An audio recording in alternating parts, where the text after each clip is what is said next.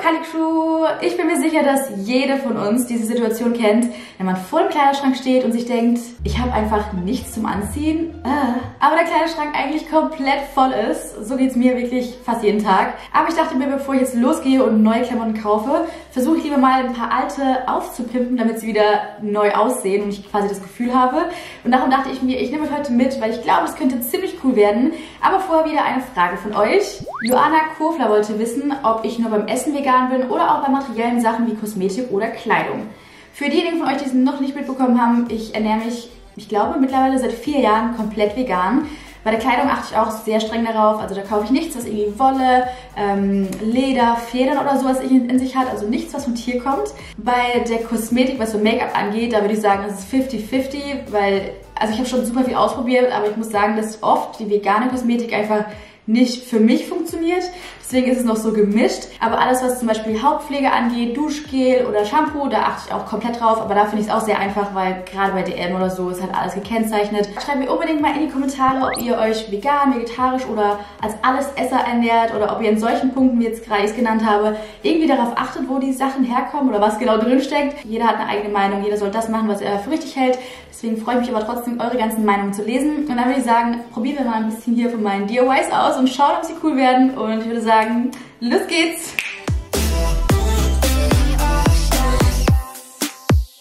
Ich glaube, mittlerweile ist es kein Geheimnis mehr, dass es zwei Dinge gibt, die ich sehr gerne trage. Im Sommer oder an warmen Tagen, so wie heute zum Glück endlich mal wieder, Off-Shoulder-Oberteile. Ich finde die einfach mega schön an mir. Also ich, mir gefällt das einfach sehr gut, wenn ich das trage. Und im Winter an kalten Tagen Hoodies. Wenn man sich so richtig schön reinkuscheln kann und die am besten von innen noch richtig schön soft sind, dann liebe ich die einfach. Und ich habe auch relativ viele, die halt so einfarbig sind sind ganz cute, aber ich glaube, da geht noch ein bisschen was. Und da war ich auf Amazon unterwegs und habe das hier gefunden. Und zwar richtig viele coole Bügelbilder. Ich wusste nicht, dass es online so coole Motive gibt, aber die gefallen mir einfach so gut. Aber es gibt nicht nur die, ich habe auch noch das hier gefunden. Zum Beispiel diesen Rolling Stones Zeichen, das ist ja mega in. Und da gibt es so viele Pullover, die man irgendwo in den Läden kaufen kann. Oder diese ganzen Splitterlinge hier, mega im Visco-Style und die wollte ich unbedingt haben.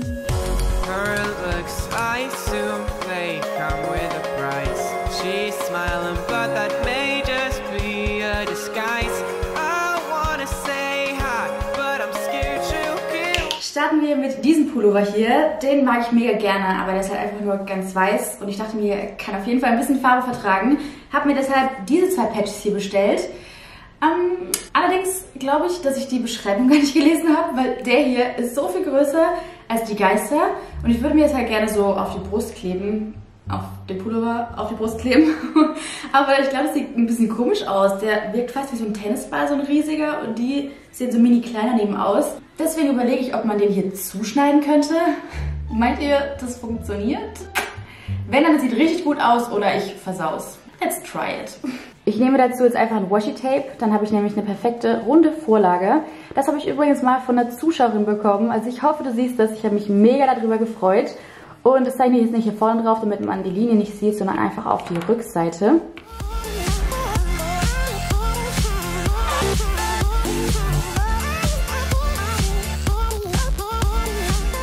Schaut mal, wie gut es geworden ist. Das sieht doch jetzt viel besser aus und passt jetzt perfekt zu denen. Also auf jeden Fall besser als das hier. Was jetzt noch fehlt, ist das Auge. Und dann nehme ich einfach hier so einen Textilmarker. Und schwupp, DIY Pac-Man ist fertig. Jetzt können wir das Ganze aufbügeln.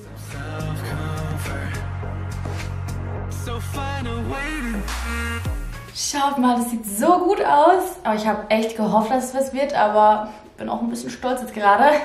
Jetzt fehlt nur noch zwischen dem Pac-Man und den Geistern so ein paar schwarze Punkte. Die werde ich jetzt einfach wieder mit dem Textilmarker machen und dann ist dieser Pullover auch schon fertig.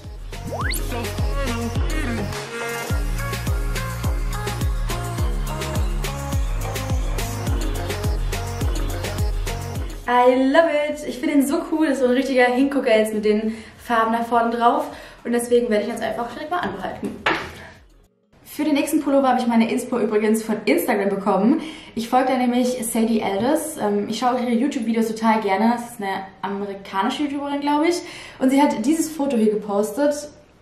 Moment, okay, ich glaube, ich kann es nicht richtig sehen. Ich blende euch hier ein. Da hat sie auf jeden Fall einen hellblauen Pullover an mit einem Schmetterling vorne drauf, wie ich sie eben auch bestellt hatte. Und ich dachte mir, okay, es sieht so cute aus. Ich will das genau so nachmachen. In dem Set ist, glaube ich, sogar genau dieselbe Farbe drin, wie ihr Schmetterling hatte. Ich glaube, der hier kommt da mega nah dran.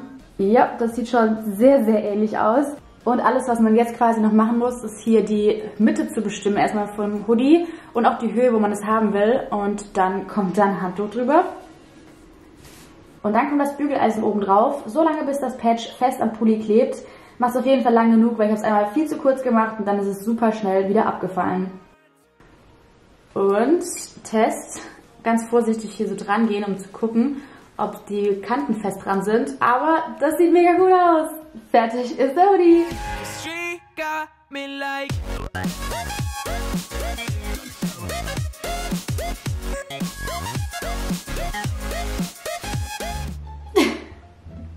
Wie kann man müde sein, wenn man den ganzen Tag schläft? Ich verstehe es nicht. Auf jeden Fall war das gerade eben so super einfach und mega schnell, dass ich mir überlegt habe, noch einen zweiten Pullover in diesem Schmetterling-Style zu machen. Allerdings nicht in Babyblau, sondern in Babyrosa. Den finde ich auch mega schön. Und ich habe euch auf Instagram abstimmen lassen, wie genau das aussehen soll. Die Mehrheit von euch war dafür, dass ich drei Schmetterlinge in eine Reihe mache, aber der in der Mitte ein bisschen größer ist, weil ich habe hier auch verschiedene Größen drin. Und genau das werde ich jetzt machen und anschließend diesen Pullover auch an jemanden von euch verlosen. Wie genau ihr teilnehmen könnt, erkläre ich euch gleich. Ich ihn erstmal fertig bekommen, dass ich weiß, dass er auch gut aussieht. Ich glaube, hier wäre es ganz cool. Und dann markiere ich mir das mit so einem Textilmarker. Und dann nehme ich mir für die Mitte diesen in Pink hier. Außen kommt dann einer in einem Dunkelrot und Lila.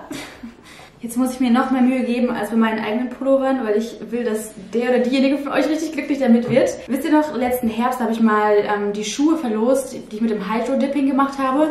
Und das war mein zweit erfolgreichstes Bild aus dem ganzen Jahr, weil ihr das so gefeiert habt in den Kommentaren und mit den Likes. Dachte ich mir danach, okay, lag es daran, dass die Schuhe so schön waren? Oder weil es eine Verlosung von mir war? Oder beides? I don't know, aber wir testen es jetzt einfach nochmal. Das ist halt einfach so ein super einfaches DIY, mit dem ihr halt aus euren langweiligen alten Klamotten wieder coole neue machen könnt. Einfach indem man nur so ein Patch aufbügelt, sieht es halt direkt anders und cooler wieder aus. Das hier ist übrigens kein alter Pullover von mir, den habe ich extra jetzt für dieses DIY gekauft, weil ich halt ihn an euch verschenken wollte. Also keine Sorge, ihr bekommt hier nicht meine alten getragenen Klamotten.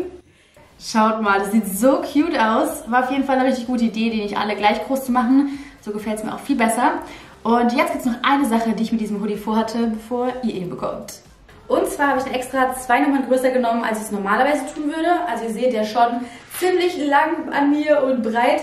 Aber er hat hier diese Bauchtasche und da habe ich mir überlegt, die einfach darüber zu croppen, dass man so einen Crop-Sweater hat, der dann perfekt auf High-Waisted Jeans aussieht.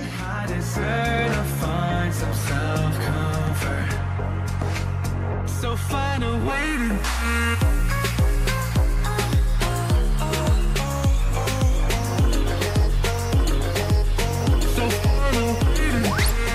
Tada! Ich finde ihn so viel cooler und auch viel sommerlicher, wenn jetzt dann der Frühling irgendwann wiederkommt. Und falls ihr bei der Verlosung teilnehmen wollt, dann seid einfach Abonnent meines Kanals, gebt diesem Video einen dicken Daumen nach oben und schreibt mir einen Kommentar, in dem ihr mir vielleicht verratet, warum ihr diesen Hoodie unbedingt haben wollt. Aber ganz wichtig, schreibt auch euren Instagram-Namen dazu, denn nur so kann ich euch kontaktieren. Ansonsten findet ihr alle weiteren Infos in der Infobox. Mittlerweile haben wir den nächsten Tag. Ich war gestern übrigens noch beim Friseur. Sieht man das? Ein bisschen, oder? Und Myla wurde heute Morgen registriert. Also es war extrem viel los, wenn ihr den letzten Clip gesehen habt. Sie liegt übrigens gerade da rechts unten, damit ich sie im Blick habe. Aber ihr geht's ganz gut. Sie ist noch ein bisschen schläfrig. Auf jeden Fall wollte ich jetzt noch einen letzten Pullover machen. Und dafür braucht man wieder Textilstifte. Die bekommt ihr in jedem Bastelshop. Und das Coole ist halt, man kann zeichnen, was man möchte. Die Farbe bleibt danach einfach permanent auf dem Hoodie drauf. Und man kann auch die Sachen natürlich waschen bis zu 40 Grad, aber die Farbe bleibt fest. Ich benutze dafür jetzt wieder einen weißen Pullover, aber weil ich weiß, dass wenn ich da jetzt freilich was drauf zeichne, die Buchstaben wahrscheinlich komplett unterschiedlich groß werden, habe ich mir eine kleine Vorlage hier auf ein Blockpapier geschrieben. Hier für California. Übrigens kommt da auch mein Kanalname her. Also Cali Cassie steht für California Cassie. Stimmt mal oben mit ab, ob ihr das schon wusstet. Ich glaube die Mehrheit nicht, weil ich habe es echt nur ein paar Mal erwähnt. Also ich bin sehr gespannt, was da rauskommt. Und jetzt kommt das mega praktische daran, denn die dunkle Farbe von der Vorlage, die sieht man durch den Pullover durch, also schiebt die Vorlage einfach rein und dann sieht man einfach die ganze Schrift durchscheinen und kann sie perfekt abzeichnen und dadurch wird auch alles gleichmäßig.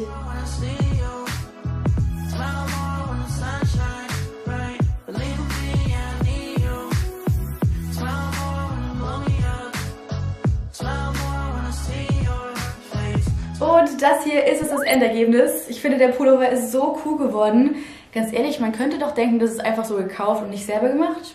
Oder? Und ich bin natürlich mega gespannt auf eure Kreationen. Also falls ihr auch eure alten Klamotten aufpimpt, dann verlinkt mich unbedingt im Instagram auf eurer Story, damit ich das auch sehen und bei mir teilen kann. Jetzt muss ich mich um Myla kümmern, denn die ist gerade aus der Narkose aufgewacht. Ich hoffe, das Video hat euch aber gefallen. Wenn ja, lasst unbedingt einen Daumen nach oben dafür da und ein Abo, denn wir sehen uns in meinem nächsten Video wieder. Und bis dahin, macht's gut, Leute.